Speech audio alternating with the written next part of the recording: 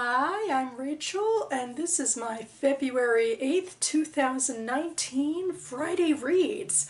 My first Friday Reads of the year since I didn't do any in January, but I'm excited to get back into this tradition and to talk briefly about the books that I'm reading, unlike my monthly wrap-ups like the video I just did, which uh, went on forever and ever. I'll try not to do that, so that means I'll just uh, get off this intro now and get into it. So for the last several days I've been reading my first official read of February and it is The Invention of Wings by Sue Monk Kidd. It's been on my uh, Goodreads TBR forever and its number finally came up. Uh, perhaps it feels a little apropos to start uh, Black History Month with, uh, the that is Black History Month in the Americas and this is particularly about a horrible cornerstone of American history. Uh, it deals with slavery in the antebellum South, and this is uh, at the first few uh, decades of the 19th uh, century in Charleston, South Carolina. And uh, we are following uh, two young girls to women throughout their formative formative years. Um, there's Sarah Grimke, who was an actual abolitionist at the time, and then uh, her slave, her personal slave, uh, Hetty, who who um, Kidd uh, renames as Handful. Uh, uh, she was an actual person as well, but I think a lot less was known about her life, so Kidd uh, fabricates a lot more for her. And I think it's a good novel. I mean, it's a it's a gripping story. Um, Kidd imagines how Sarah Grimke might have um, formulated her abolitionist beliefs and also her beliefs in uh, you know education for for women particularly because uh, both in the book and apparently in real life uh, she was very smart and even her father commented on you know if only she were a boy maybe could have gone to be the most successful of his children. Uh, and um, handful is uh, you know suffering horrible things and just trying to uh, have a sense of identity and a sense of family and uh, it's an interesting uh, relationship between these two girls and whether or not we can call them friends, really, given the uh, injustice that's inherent in their relationship. Obviously, this book is uh, pretty triggering for the abuses that Handful suffers and uh, also the black people around her suffer. Uh, but I think Kidd tells things in a less direct and brutal way, so it could be more approachable in that way. This has sort of the feel of I almost want to say chick lit, but I feel like that's pejorative, but there's just a way that she can approach the subject without uh, feeling the need to get graphic about it, but she still gets her point across and seems to talk pretty honestly about uh, the abuses that slaves uh, could so easily suffer.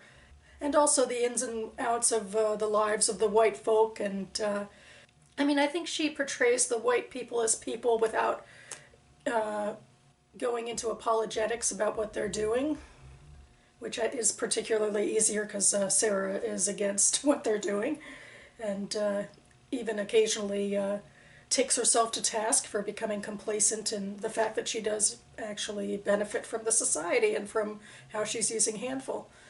And as Handful grows up, we're seeing her get uh, angrier and more indignant about uh, her situation, especially as she's slowly able to uh, interact more with the outside world out, outside of uh, her home and uh, with the, the slaves and the free blacks who live in uh, greater Charleston. So I am not as far along in this novel as I hope to be.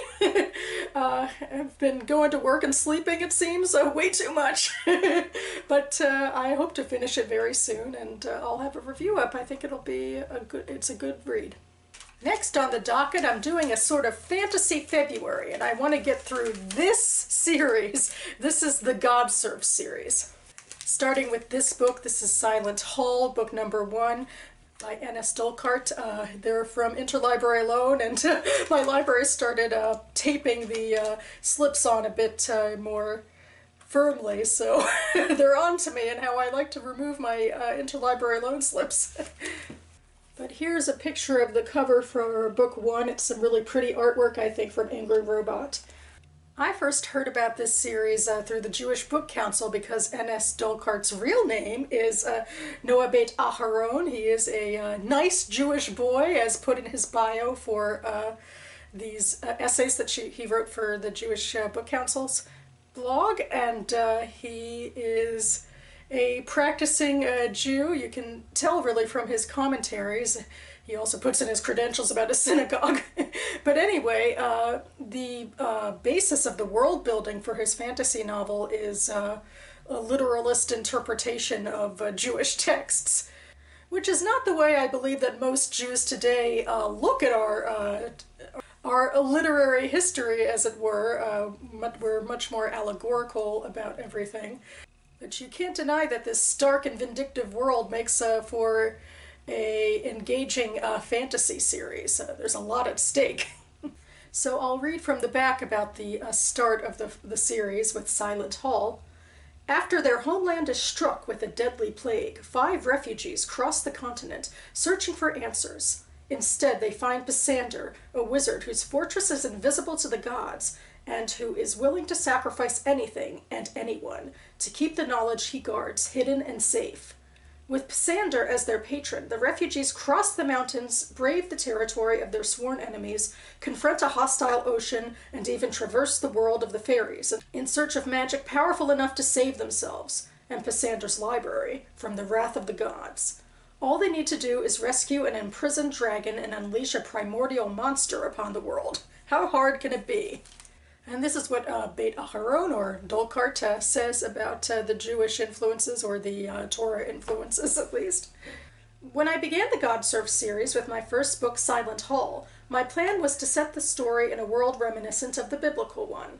I'd always been fascinated by the strange and horrifying world of the Tanakh, or Torah, where tricking one's brother out of his birthright is okay, but accidentally touching the Ark of the Covenant is a death sentence and I wanted other readers to share my experience of the text in all of its disturbing glory. I know that at least with some I've succeeded. I have a friend who receives drashot from her favorite rabbis via email, and she keeps forwarding them to me every time a concept reminds her of my writing. If one were to go searching for biblical parallels in my series, one would find them by the Arkful, a Sinai generation made up of dragons, a leviathan like primordial plant monster, a godly pursuit as troubling and mysterious as, as the bridegroom of blood story, plus more midrashic references than you can shake a lulav at. The gods and god serfs are mysterious and frightening, willing to wipe out a population or smite an individual uh, over the pettiest of slights. There are also a whole lot of them, and they are frequently in conflict with each other.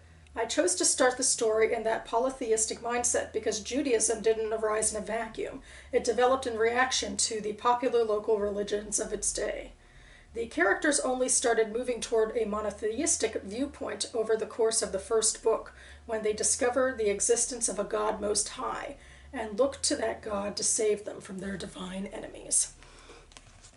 And I will link to uh, his essays down below.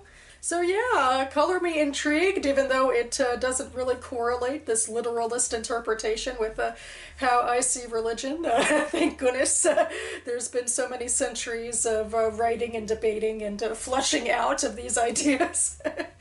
but there's a definite power in these stories, particularly in worlds that can be unfair, and uh, fantasy is an interesting lens to see that through.